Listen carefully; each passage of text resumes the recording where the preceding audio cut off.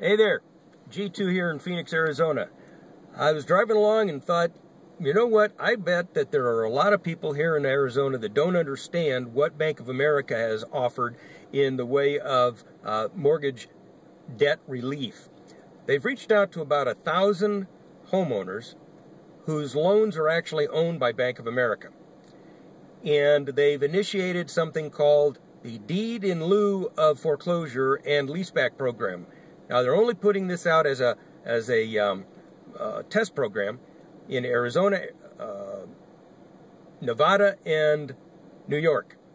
Thousand people. They're going to reach out and offer them this deed in lieu of foreclosure and leaseback program, and they'll be able to lease the homes back from Bank of America for up to three years. At the end of three years, Bank of America gets the house back. They don't get to buy it. That program is for a very, very small, narrow microcosm um, group of homeowners where Bank of America owns the note. And that means you can't have a second mortgage. You can't have any liens on the property, no HOA liens, no tax liens, no mechanics liens. Has to be a clean deed.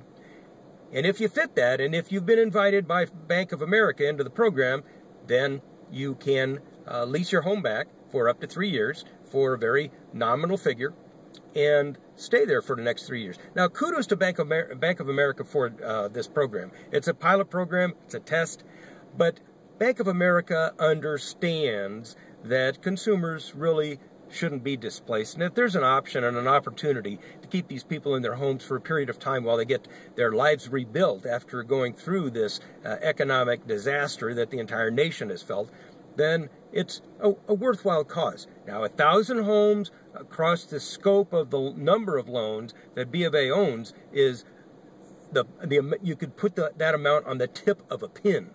ever, great effort by Bank of America, but Mr. and Mrs. Homeowner, don't get confused and think that this is a program you can solicit Bank of America for, because you can't. So, anyway, thought it was worthwhile to stop, pull over, and tell you about this.